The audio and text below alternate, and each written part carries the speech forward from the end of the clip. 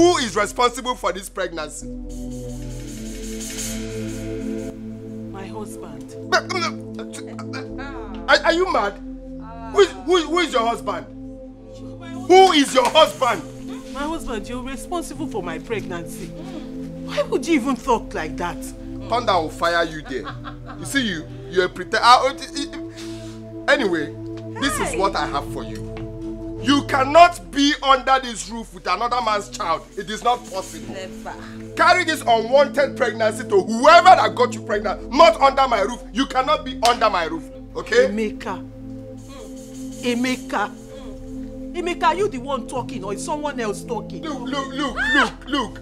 I, I am warning you. You, you, you, you, you, you think we are here for conversation? I don't lose it. No, no, she thinks she thinks we are here for talk and talk. Debates now, accurate timekeeper.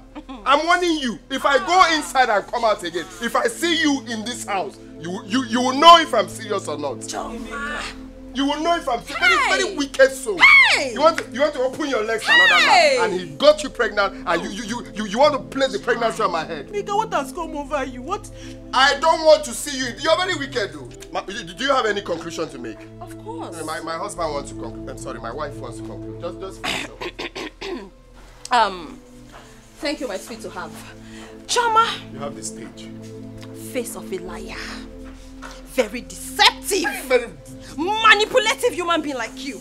See, the only way we can help you is if you open up to me as your sister and tell me who is responsible for your pregnancy.